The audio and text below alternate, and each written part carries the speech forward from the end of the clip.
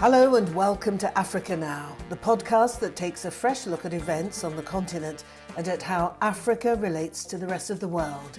I'm Martine Dennis.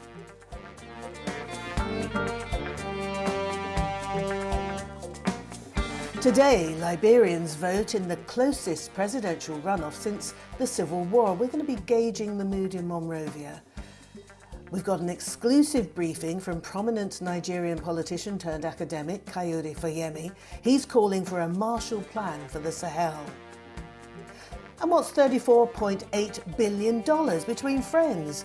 We've been in the corridors of the Africa Investment Forum in Marrakesh. Find out who left Morocco happy. And discover how little I know about rugby. As Herbert Mensah tells me, the sport is more than just fun, it's big business too.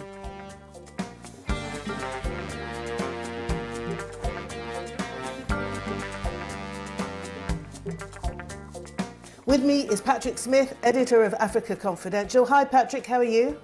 Hi, Martine. Um, I'm pretty knackered. I've just come off a long haul flight from Cape Town, stuffed in coach class right at the back of the uh, plane. If anyone thinks journalists are privileged people, forget it. We're, My heart bleeds, Patrick. Here. And uh, Donu Kogbara, the Abuja based journalist and political commentator.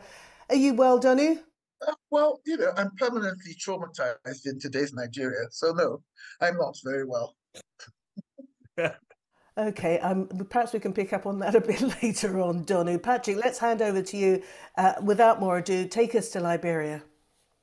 Right. Uh, this morning, uh, we're very privileged to have Rodney Sieh, who is a pioneering journalist. He's the co founder of Front Page Africa um, which has uh, achieved plenty of scoops in its history. Um, today, Rodney is joining us on the line just as people are voting in Liberia's second round of presidential elections. Um, Rodney, thanks very much for coming on. Can you tell us what the, the mood is today and, and how the turnout is? Because that seems to be a critical factor in these elections. Yes, but um, usually uh, the second round usually is a low turnout, which is happening today. Um, there've been lots of uh, calmness so far, no issues of um, violence. Um, but the build up to this today was has been very, very chaotic. Chaotic.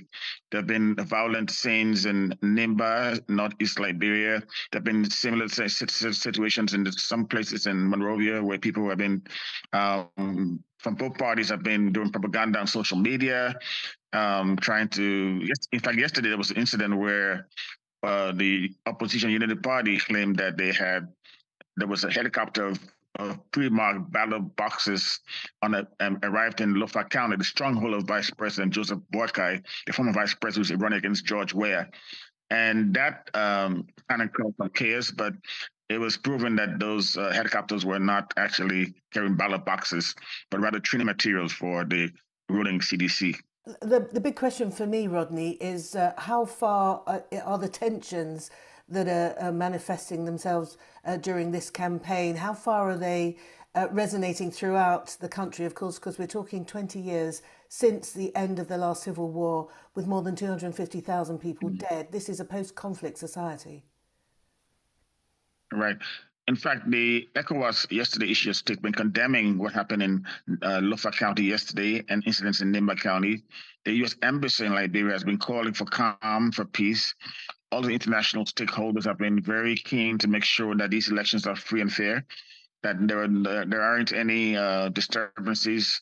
But usually, when there's uh, violence in election situations, it happens uh, usually when the numbers have been tabulated and announced, that's when either side can complain that they cheated, and that's when the trouble starts. So in the next 24 to 48 hours, when the numbers start coming back, that's when we're going to see extent of these uh, elections, whether it's going to be actual free of violence or chaos or not. The, the U.S. Embassy in Monrovia, Rodney, has issued a warning to people who engage in electoral malpractices or violence you know, regarding visa restrictions. Uh, in your opinion or experience, will that warning be effective? Well, as you know, most of uh, most people in Africa and West Africa, particularly, love to go to America. And I think the embassy realized that uh, placing a, ban on issue a threat of ban on people who cause problems in these elections is a way of maybe helping the country uh, move past the civil war because some of these incidents can lead to trouble. And there have been cases, on, especially on social media, there have been lots of hatred, animosity, exchange of hate messages and stuff that's been very, very intriguing and making this election like almost bloody without, you know, but there have been a lot of times where people have been complaining that there's just too much hatred going on. I think the visa restriction is a way of toning down those rhetorics. Um, whether they succeed in doing it remains to be seen. But the real impact will be known in the next few days when the results are being announced. That was Rodney Sieh, editor and co founder of Liberia's largest independent daily, Front Page Africa, and he was joining us from Monrovia. Now, we were also lucky enough to have some time with the prominent Nigerian politician turned academic Kayode Fayemi. Just after his lecture at King's College here in London, it was called Shifts in Global Power Relations and Implications for Africa. Donu, you know Kayode quite well, don't you? Tell us a little bit about him. Well, I'm heavily biased because both Kayode and his wife have been my friends since we were all students, uh, youngsters gadding about in London. And, you know, in the case of Kayode and his wife, less of the gadding and more of the sort of socially responsible activities. They were not as frivolous as some of us when we were younger. and then he went on to become a respected activist, uh, two-term governor, who, who became quite famous for refusing to inflame tensions when he lost an election, um, which is not normal for Nigerian politicians. They don't normally say, you know, well, I don't want anybody to die. I don't want any unpleasantness. I'm going to step back and accept the result. Um, but Kayode did that, for which many people will always hold him in high esteem. He then became Minister of Solid Minerals and went back to being governor again. And in Nigeria, you can only have two terms. So his second term ended recently. And while during his second term, he was also chairman of the Governors Forum, which is a very influential body for the subnational governments, of which there are 36 in Nigeria. And now, again, he has won a lot of respect by quietly going back into academia when he did not, as many of us hoped, get the foreign minister slot. Right. Well, um, we started our conversation with him by asking him about uh, the new world order that many uh, contend is being born right now, kicking and screaming as it emerges. Well, yes, that's what I, I, I started with, uh, quoting the age old um, Italian political scientist Antonio Gramsci um, saying, when the old is dying and the new is not yet born, what you have in the middle is a whole range of morbid uh, uh, uh, situations. And that's really where we are now. As the unipolar moment is uh, disappearing, of course, the leader of that unipolar world is also kicking and fighting. Yet, inevitably, as this historical trajectory has shown us, that that's how the unipolar uh, lead also emerged from Pax Britannica to Pax Americana, and then from Pax Americana to this challenge by the Russian uh, um, Union of Soviet Socialist Republics post 1945. And we've had to deal with that up till Fukuyama's so called end of history. And it's now turned out that history has not really ended, and history cannot really end with what's happening in Ukraine and uh, now Gaza, which has never really gone away. Is it too simplistic to to attribute it to uh, this phase of American isolationism, America withdrawing from the international stage post post Iraq war? I, I think it's too simplistic to trace it to that. There are a whole range of developments around the world. The middle powers are not letting off. They are also rising, and they're rising particularly as economic uh, powers. So you cannot ignore what is happening in China, uh, let alone India and Turkey and uh, the um, Middle Eastern powers as well, Saudi Arabia, UAE, Qatar. They're becoming big players geopolitically. You can see the role that the Qataris and the UAEs and the Saudis are playing in Africa's conflict management, for example, in Sudan uh, and in, in the Sahel. This is something that was never the case in, in the past. So you cannot just trace it to a simplistic isolationist moment in America because ironically, America is not as isolationist as it used to be. If Trump were to be there, you could really say, yes, this is a Republican isolationist movement. Democrats are usually more engaged, but more engaged without the necessary um, political authority that used to come with that in the past. In, in when you were talking um, at King's the other evening in, in, in central London, you know, you were talking about the new opportunities, you know, that Africa's got a seat on the G20 or the African Union has a seat on the G20 as an equal member to the European Union.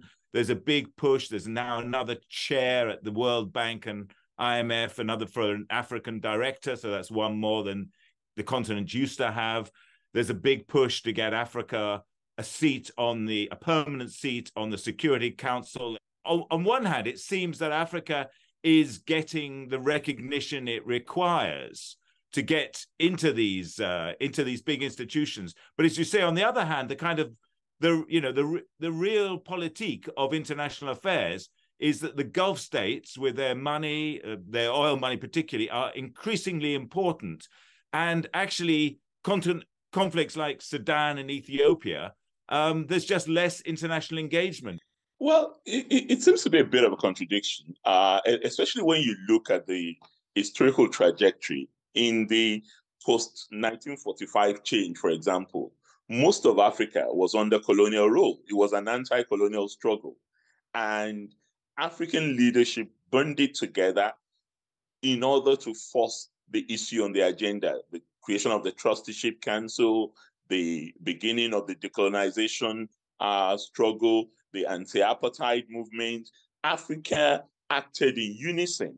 Yet not all of them were together, but majority of the African countries were on the same page at that time. But now that we have this opportunity that I spoke about in my lecture, either in terms of our population advantage, uh, the um, natural resource uh, opportunity, there seems to be lack of coordination the, the African Union that should be in the driver's seat appears not to be pulling its weight to rally African countries. Yes, you have a few African leaders, Cyril Ramaphosa putting together his own uh, initiative on Ukraine, uh, or even now on Gaza, but which is not resonating uh, across the continent, let alone with the necessary response from the rest of the world. And I think the reason for that is we need to see that charity must begin at home. Africa needs to begin to lead on its own issues. Yes, Africa has demographic advantage. Africa has, this is the continent that is going to have one in four people on the planet by 2050. Already, we have the youth bulge on our side. Africa's median age, as I said in the lecture, is 19, and Europe is 38.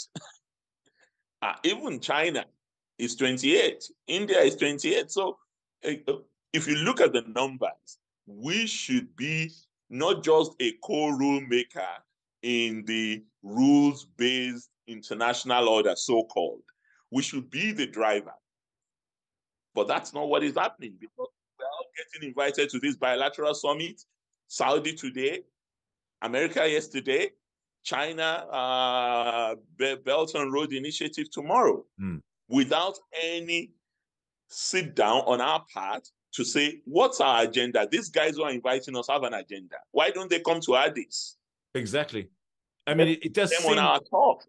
It, it seems bizarre that Saudi Arabia and the US are mediating in talks between two rival factions in Sudan. And it was only as an afterthought that the African Union and the uh, Intergovernmental Authority on Development, the regional organization for the Horn, were invited uh, sort of to be bit players in these talks. The fact is, the talks haven't even worked, despite the you know the geopolitical weight of the U.S. and Saudi. And frankly, that's not what it used to be. Remember, Patrick, in the early 2000s, as I mentioned in my lecture, when you had the quartet of Thabo Mbeki, Obasanjo, Bouteflika, Abdoulaye Wade, they were able to create a moment of direction in which outsiders listened to what they were going to say before they even got involved in anything on the continent. That was the era of the new Partnership for Africa's Development.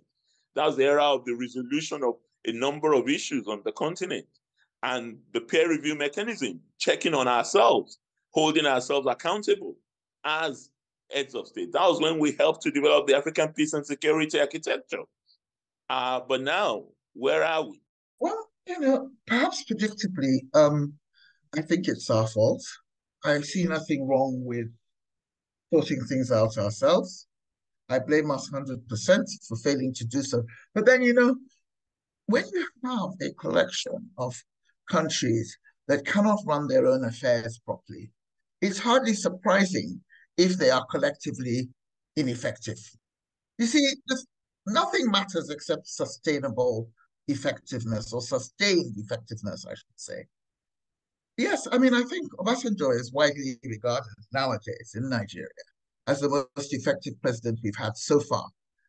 Um, and he has a strong personality. I'm not surprised that arrangements that involved him were progressive and productive.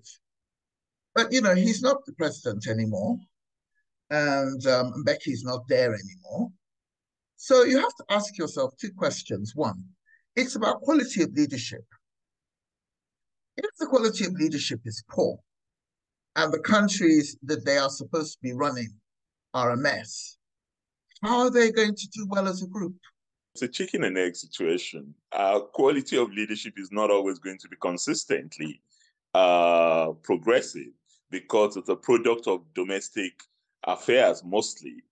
so if you have another president who does not necessarily see international affairs as a priority, then it would drop on the agenda of the state. But more often than not, external affairs is itself an extension of the domestic. And there, there's always a mix. And Africa is not alone in carrying that burden that Donu described on quality of leadership, quality of institutions, and sustained commitment to uh, uh, improved relations with countries. In, but, but there are nodal countries. And, and that's the role a country like America has played. There are nodal countries that both size, influence imposes on you to carry a larger share of the burden. And that's the, the, the price that countries like Nigeria and South Africa would have to pay on the continent. We need drivers of change. That's it. We do. I mean, we prance around calling ourselves the giants of Africa. What I see actually is a pygmy with delusions of grandeur. You know, size isn't everything, as they say in another context.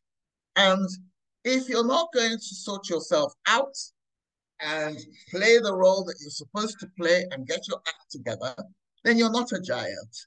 Whenever there's an election in Nigeria and people aren't happy with the way that election was conducted, they expect white people to come in and rescue them from a leadership they claim has been imposed on them. They expect white people to, or foreigners generally, to fight their battles for them. And we need to. well, I don't. I don't agree. First, to go back to your original point, it's not always the case that a government that does well at home is the government that will do well on the external front. And if you use Nigeria as the eh, as an example too. There, there were issues in which Nigeria was front and center internationally in Liberia, in Sierra Leone, and the Babangida and Abacha administrations were really not that well regarded on the domestic front. Yet they saw it as a manifest destiny and responsibility of Nigeria to take on those issues on behalf of the rest of the African countries. And that's the point I was making. Well, let me play devil's advocate and say that when things aren't going too well on the home front, you should mind your business and focus on sorting out stuff on the home front. But the reality, as we have now seen, is that home is not just Nigeria for Nigeria. Home is Niger. Home is Chad.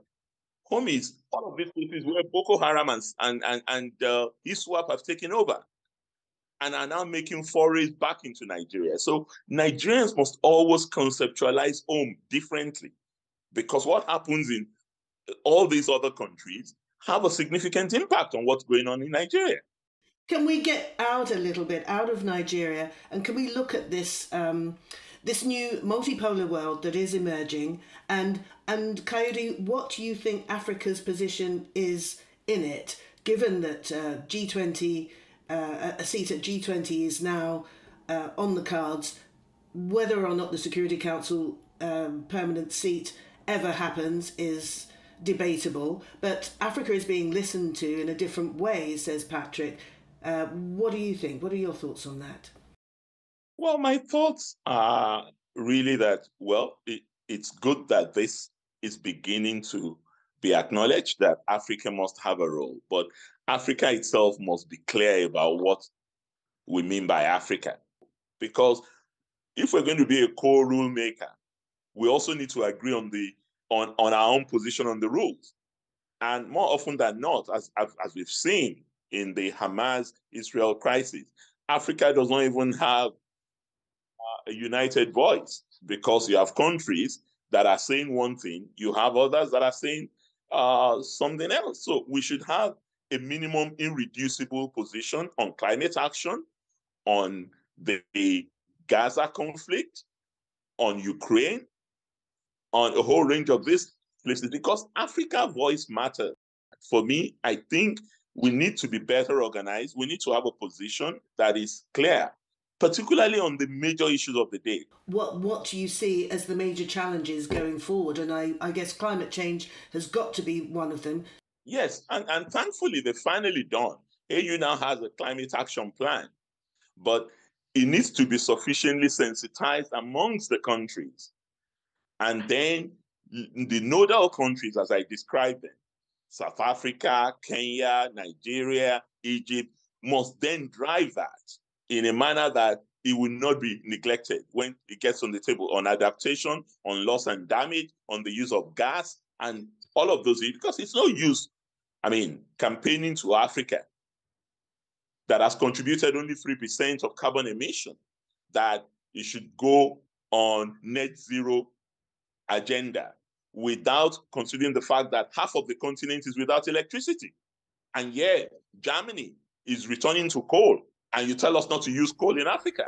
Um, Kayode, what about um, uh, this wave of insecurity that we're witnessing on the continent and, and the uh, supposedly jihadist uh, uh, attacks on ordinary communities, in particularly in the Sahel, leading, it would appear, to military takeovers of government. Uh, we need to talk about that. I mean, is there something like uh, coup contagion that has to be considered now for the continent? Oh, clearly, yeah, clearly there is a coup contagion, but it's also linked to the demographics. First, we have to acknowledge the fact that liberal democracy is not delivering the goods in the manner that ordinary citizens expect it to.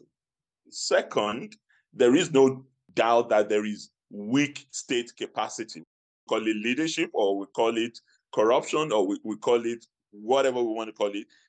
Capacity is limited and lacking in many of our states.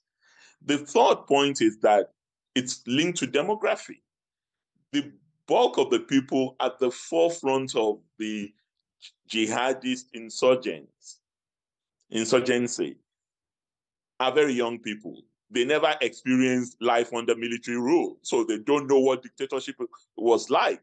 For those of us who spent our lives fighting the removal of the military from Nigeria, from many of these other countries, we, we, we wouldn't be as enthusiastic. Even when we see weak capacity, we'll look for a way to improve on capacity, improve on leadership in order to uh, address the lack of delivery uh, of, of the liberal democracy movement that we, that we have. So I was saying uh, at my lecture that we need to respond to this on several levels because the coup contagion has never really helped anyone. There is no evidence to suggest that military vanguardism will stop terrorism in the Sahel. As a matter of fact, there's been an upsurge, an increase in terrorism in Niger since the soldiers took over than when Bazoum was in charge.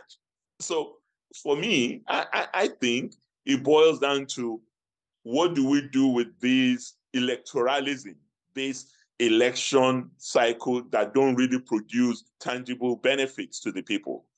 And I was saying at my lecture that we need to revisit the notion of majoritarian winner takes all democracy and begin to look at a model that allows consensus and that allows all critical stakeholders to have a seat at the table. That way, they will all concentrate on development rather than trying to undo one another. Once one of them gets in and another does not. And I and I use the example of Nigeria's most recent election. The winner has 37%, 63% are with the opposition. So are you saying that those 63% are non-Nigerians or they don't matter? We should be having a Sahel summit.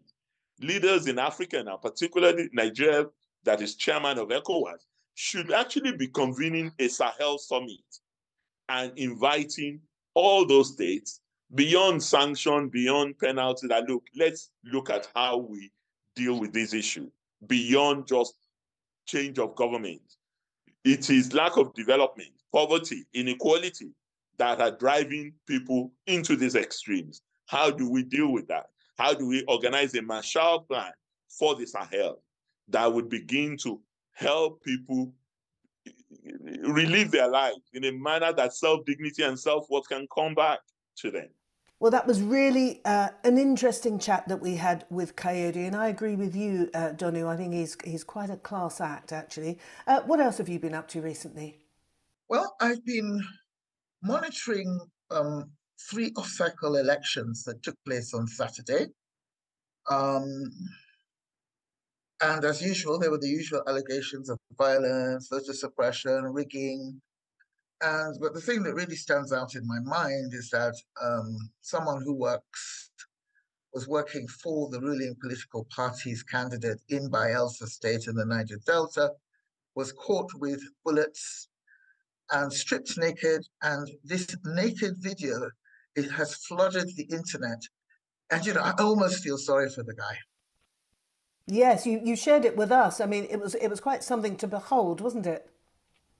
Yes, I mean, some people actually felt that you know no amount of um, malfeasance could justify stripping him of his dignity and his clothing. But you know, opinions are divided because what some people are saying is that if you don't humiliate such people on the spot, particularly when they belong to the party in power, they're not going to get any other punishment because if you hand them over to the police, they'll be released. Well, Martine, you've been gadding about on the glamour trail. I hear you've been in Marrakesh recently. Indeed, you know, gadding. While I was while I was suffering in Nigeria, you were having fun in Marrakesh. Gadding is the word. I was in Marrakesh for the Africa Investment Forum, moderating a panel, one panel on critical minerals with three fabulous women who were so so clued up about the whole scene of, of mining, in, in particular uh, these minerals that are that are crucial to the green transition. And I had another panel which had five expert guys uh, who were talking about renewable sources of energy and the bankability, uh, the critically the bankability of some of these projects. But the real action wasn't where I was on the stage. The real action was actually in various boardrooms and I, needless to say, wasn't invited uh, to any of these boardrooms, but nor was Patrick. But he's still got the inside track on the total of $34.8 billion that was pledged. So, Patrick, who were the happy recipients? Yeah, uh, Martine, a lot was going on in that meeting. Um, so, the president of Tanzania, Samia Suluhu Hassan, uh, turned up and um, came away with no less than $5.9 billion investment in her country's new railway project. It's, it's very important because it links the um, the mineral-rich areas of Tanzania to the seaboard, so they can dig the stuff out of the ground and get it on the ships uh, extra fast. So uh, that was a hugely important investment. Kenya got $300 million for um, power transmission uh, uh, networks. Um, and another 3 billion came in from the AFDB, the African Development Bank itself, Afrexim Bank, and the Islamic Development Bank for um, a bunch of uh, agro in processing plants. Patrick's always on the money, isn't he? Well, whilst I was there in Marrakesh, um, I ran into Rugby Africa's boss, Herbert Mensah, and he explained to me what he was doing at the Africa Investment Forum. Well, I thought that I would bring the whole question of sports being big business, and that really the people who control capital, wealth, opportunity are missing perhaps the greatest opportunity, and that is to invest in sports why is it the greatest opportunity when there are so many profound failings and, and inadequacies and, and needs on the continent that are barely being addressed, as we've been hearing at this conference? Why is sport so important? I think that money essentially is friends with money. Money looks to make money. So we, we've got a number of different things we can look at. We can talk about the continent and the things that are not quite right in the continent. we can talk about infrastructure related matters, things that are more the duty of government in terms of making it work. And we can address the issue of people who have got money. You've got $10 to invest in hospital, roads, whatever else may be. You are dealing with government on that at a certain level. You're also looking at opportunity, as they do, as to do we invest more in agriculture? Do we invest in this factory or that? And sport is big business. Sports nutrition is big business, as I, as I said in the meeting today. Um, supplementation is, of which there's so much raw material here in Africa in terms of um, the kind of supplements that people use for sports. Yep, agribusiness generally has been one of the main focuses Absolutely. of, of this uh, meeting here in Marrakesh. Yes. So I, I understand that so, point. So I brought, I brought that up. But sports itself, if you take, we've just finished the Rugby World Cup. Expected monies into World Rugby $2.4 billion. Expected. I think that's As what they got in terms of revenues coming in and TV related matters and people through turnstiles, etc., etc. Even for the small games, Namibia against nobody, 50 something thousand people were in the stadium. The breakdown of how they, what they make is not so important as they're getting 2.4 billion. That, that is, sport is big business. FIFA World Cup Qatar, how many billions were then raised from that? And how much was spent? How much was spent? Uh, an absolute fortune. You know what the Qataris are like when they put on an event. Absolutely. Um, but so we're talking about sport generally, but why rugby? I mean, how many how many countries on the continent play rugby? Thirty nine. Thirty nine. Thirty nine out of fifty something. Well, you know, you say how many play basketball. We don't really know. We only know about football. And the, th- the thing is, the world has to understand that there is more to life than a round ball played by 11 people of sorts. Um, but it is the, the beautiful game. It's the universal game. It is. Why do you think Absolutely. that rugby can, will have you, the pulling power? Just imagine if football was the only sport in the world. Rugby is actually probably the second or third biggest sport in the world that people don't realize. So I've always found it because I came from the background of football. I run football on the continent of Africa and through one of its biggest clubs. And the fact of the matter is, the African is such an extraordinary being, capable of anything. Forget rugby, anything for one minute. And look, I was telling somebody earlier today that, look, if you go to East Africa, we've got the Olympics next year. I bet you that the middle distance runners who will win a gold medal will come from Kenya, Somalia, Ethiopia, etc. It's been like that since time immemorial, and it will be for the next 50 years. If you come into West Africa, you can bet your bottom dollar that within the top 12 teams in Africa, in the world, at a World Cup now, A football World Cup. in Football World Cup, it will be a Cameroon or a Senegal or a Ghana or La Cote d'Ivoire or a Nigeria. So the continent is broken up with people capable of different things, whether it's running, sprinting, boxing, fighting, whatever else may be. Rugby falls within that, that it is the one sport that you can be a two meter tall South Sudanese, or you can be from the Central African Republic and be four foot tall. And you'll be a fly half, would you? You could be a scrum half. Oh, That's- okay. So Dan Biggar is a, is a big, big, big fly half today. You, you, you could do. So we, we got people from across the continent that attract everything. And I think the melting pot becomes the Springboks, who are the world champions for the second time, who are African, who have people from all shades of the rainbow nation playing within that team that is the Springboks. Which brings me to that historic victory, yes. um, which represents so much, doesn't it? Not only for for an African team, but for South Africa in particular. I mean, it was not since '95 have, have people felt that sort of overwhelming emotion. It's almost as if this multiracial Springboks team, led by a black man for the first time, was almost keeping the Rainbow Nation dream alive. Would you suggest? Would you say? Would you agree? Well, I was going to say because in 2019 they won it uh, in Japan, which is what makes this victory so incredible because it's a repeat. And Siya was the captain then. He's matured even more since then to be, in my view, the greatest sporting captain of any sport. Why do I say that? He's a leader of gladiators. We shouldn't forget that we're talking about a gladiatorial sport here. Men or women. Look at the women. The Women's World Cup is in 2025 do not mistake it thinking it's a man's game. The women are extraordinary.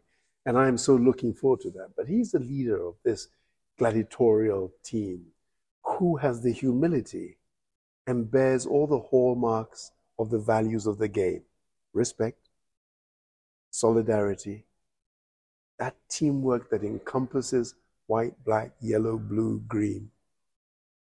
He encompasses it in his speeches that he makes. He's not saying we just better than you. He reaches out to the foe who he has conquered. He is the Olympic Charter. He is a symbol of peace and unity. And across our continent of 1.4 billion, some of them don't even understand rugby, but they understand the image of the man that they identify as an African holding that trophy. Whether you've lost or whether you've won, go out around the field and greet your fans and the supporters. Go to the losers and put a hand around their shoulder. Sportsmanship. That was as for those of us, and I'm older than you, I just checked. That's what I was doing on my sure? phone. Oh, yes, I am. Uh, Herbert I'm not going to argue with you while we're talking now. Not on your podcast, but I tell you I am. And that were the values that we all brought up with. So you, Mr. Mensah, are a Ghanaian, as we've established. Did you grow up playing rugby, I did. But not started- in, but not in Ghana? Nope. I was shipped out at the age of six. I went straight to boarding school. Uh, so I'm never quite sure why people want to do cuddly cuddly with kids until they're mid-teens. At the age of six, I went. I, I went to boarding school, and I've been in boarding school my whole life. So I started playing rugby at six. Um, I went through. I came back to Ghana for three years and stopped playing rugby because there wasn't rugby then. Went back to sixth form, played uh, for Kent College. Um, then went on to Sussex University, uh, then I got a job in Zimbabwe, and I went. I was playing in the early 80s, just after Mugabe, Mugabe came to power, I played there. I played my one international for Mashonaland against Italy. But I can see you've gone back down memory lane. Thing is, you love rugby. I hadn't realised that that you actually like it. I love it. Mm. It's it becomes part of your blood. But you can imagine Ghanaians seeing, wow, people can actually have a scrap on the field without being arrested by the police. I mean, it's just something else. Well, I think you can probably safely say because I mean I remember back in the day I was in South Africa um, in the nineties when it was considered a white boys' sport, and it's no longer that. And I think that must be deemed progress. I think so. I think when people uh, cry is the wrong word. Uh, try to revolutionize things is the wrong word. I, I, I, like the little baby steps that are stomped down with a little, you know, all one 18, 19 stone of me, so you can hear. they look over your shoulder and you realize that you are making progress. And I think that's a critical thing because you're right. When I first went to Zim, I was the only black player playing in Zimbabwe. Can you imagine? The post Rhodesia, yeah. I was the only black person playing provincial and club rugby at that level in those days. Herbert Mensah brings us to the end of this edition of Africa Now. We'd love to hear your thoughts, your suggestions. Africa Now podcast, that's all one word, at gmail.com. I'm on Twitter or X or whatever you want to call it, at Martine Dennis. We recorded this on Tuesday, the 14th of November 2023, with the technical skills of Matthew McConway. Craig Farriman is our producer. Original music by Enric Adam. Thanks to our guests, and from Donu, Patrick, and me, thank you for your company.